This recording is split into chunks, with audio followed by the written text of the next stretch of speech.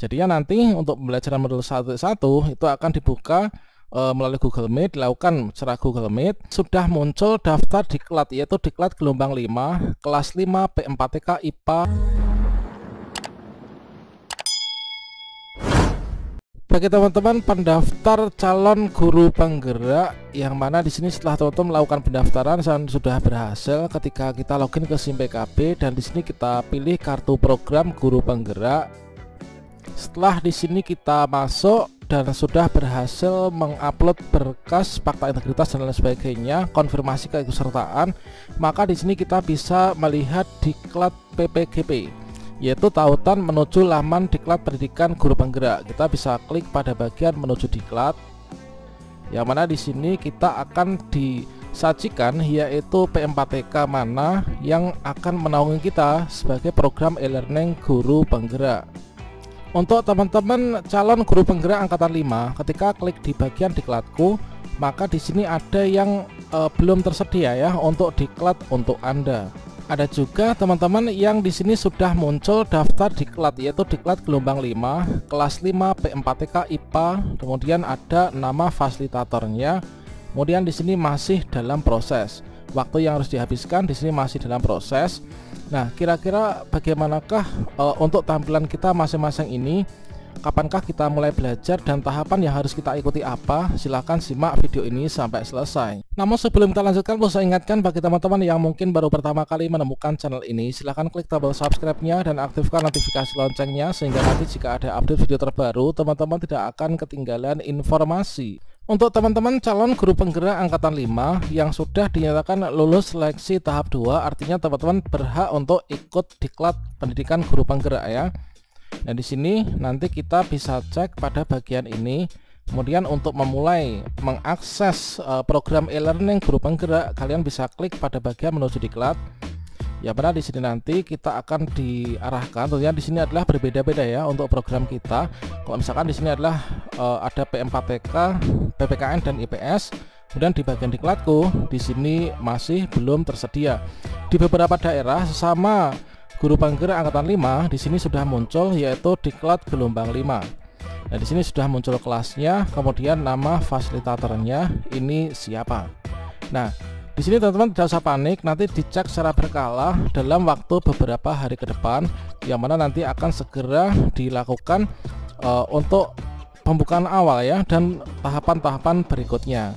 Bagi teman-teman yang telah lulus seleksi tahap 2, ini adalah merupakan tanggal penting untuk program pendidikan guru penggerak angkatan 5 yang mungkin teman-teman bisa catat dan nanti diikuti ya yang mana di sini ada daftar kegiatan dan juga di sini nanti adalah untuk yang e, memberikan materi ya atau mengisi kemudian untuk jadwalnya dan juga untuk modanya kemudian di sini untuk lokasinya Nah, sobat-sobatnya di sini kita cek ya. Nanti untuk mulai pendidikan ini adalah dimulai pada tanggal 18 Mei, teman-teman. Jadi kalau misalkan sekarang ini tanggal 9, ini adalah masih dalam tahap uh, persiapan ya. Tanggal 9, tanggal 10 masih persiapan. Mungkin di akun masing-masing teman-teman di masing-masing daerah sesama angkatan 5 ini mungkin tidak sama. Kita pantau secara berkala dan pastinya nanti pada tanggal 18 Mei ini sudah bisa diakses ya. Nah di sini uh, untuk jadwal pembukaan teman untuk jadwal pembukaan pembukaan pertama yaitu uh, pendidikan guru penggerak itu adalah nanti pembukaan dilakukan tanggal 18 Mei. Uh, nanti akan dibuka secara langsung ya oleh menteri dan juga dirjen kemudian modalnya adalah modal daring. Artinya kita secara online ya. Kemudian di sini e, melalui Pokja PGP GTK teman-teman. Kemudian lokasinya ini adalah melalui webinar atau YouTube. Dan nanti teman-teman akan diberikan link untuk bisa menyimaknya ya dari webinar tersebut. Nah nanti akan dimasukkan pada link uh, yang ada pada tautan di e-learning guru penggerak kita jadi nanti dimulai untuk pendidikannya. Ini adalah tanggal 18 Mei. Nah, 18 Mei ini adalah nanti dari Pak Menteri ya, Mas Nadiem Makarim. Secara daring kita akses melalui LMS kita. Kemudian berikutnya nanti tanggal 18 Mei juga itu teman-teman.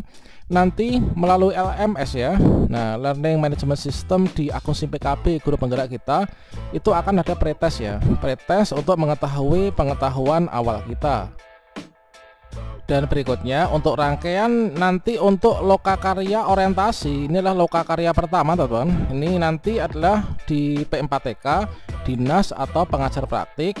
Nanti jadwalnya itulah tanggal 21 Mei 2022 nanti secara luring ya kita secara luring yaitu untuk penjawabnya adalah e, eh, P4TK yang berada di kabupaten atau kota. Kalau misalkan saya ini di kabupaten e, tempat saya berarti nanti di kabupaten teman.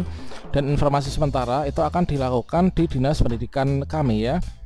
Nah ini loka karya nanti tanggal 21 Jadi tanggal pentingnya tanggal 18 nanti pembukaan dan pretest Kemudian tanggal 21 itu adalah loka karya pertama yang mana pada bagian loka karya pertama teman-teman harus membawa yaitu fakta integritas ya. Fakta integritas yang asli yang kemarin untuk file scan-nya sudah diupload ke SIM PKB guru penggerak kita. Kemudian nanti untuk pembelajaran modul 1.1 ini adalah nanti uh, yang akan dipandu oleh instruktur atau fasilitator. Ini tanggal 19 Mei ya sampai 2 Juni. Tentunya nanti akan dijadwalkan teman-teman kemudian itu nanti secara daring ya yaitu dari P4TK nanti melalui LMS ya atau juga Google Meet. Jadinya nanti untuk pembelajaran modul 1.1 itu akan dibuka e, melalui Google Meet dilakukan secara Google Meet yang nanti akan tertaut pada akun SIM PKB guru penggerak kita yang kita akan dapatkan linknya pada LMS kita masing-masing kemudian nanti berikutnya ini ada yaitu pendampingan individu teman-teman. Nah untuk pendampingan individu itu nanti akan dipandu oleh pengajar praktik ya. Pengajar praktik yang mana di sini untuk jadwalnya ini adalah satu minggu sebelum loka satu. Nanti secara secara luring kemudian di sini panjabnya adalah dinas kemudian di sini lokasinya ini di sekolah masing-masing teman-teman inilah pendampingan individu nanti lokasinya di sekolah ya kemudian loka karya satu Nah, untuk loka karya 1 di sini nanti akan aktornya ini adalah e, pengajar praktik. Kemudian untuk tanggalnya ini adalah 11 Juni. Berarti di sini 11 Juni ini adalah satu minggu 11 e, satu minggu sebelum 11 Juni ya untuk kita pendampingan individu ini. Kemudian modanya ini adalah moda luring ini oleh dinas, kemudian kabupaten atau kota. Kemudian pembelajaran modul 1.2 nah pembelajaran modul 1.2 ini nanti uh, akan difasilitasi ya oleh instruktur atau juga fasilitator yang tanggalnya ini tanggal 2 Juni sampai 16 Juni teman-teman. Nanti secara daring yaitu secara online ya melalui LMS kita dan Google Meet nanti Google Meet-nya ini linknya akan dimasukkan diberikan uh, tautan pada LMS kita ini adalah oleh P4TK Nah, kira-kira seperti itu teman-teman. Bagi teman-teman yang saat ini mungkin uh, sudah ada notifikasi dan belum bisa diakses, maka teman-teman bisa pantau pada tanggal-tanggal ini ya. Ini tanggal-tanggal penting untuk PGB angkatan 5 dicatat baik-baik. Kemudian kalau misalkan di sini pada kelasnya ini ada nama seseorang, ini adalah nama fasilitatornya teman-teman. Jadi nama pendamping kita itu adalah yang akan tertera pada bagian ini ya.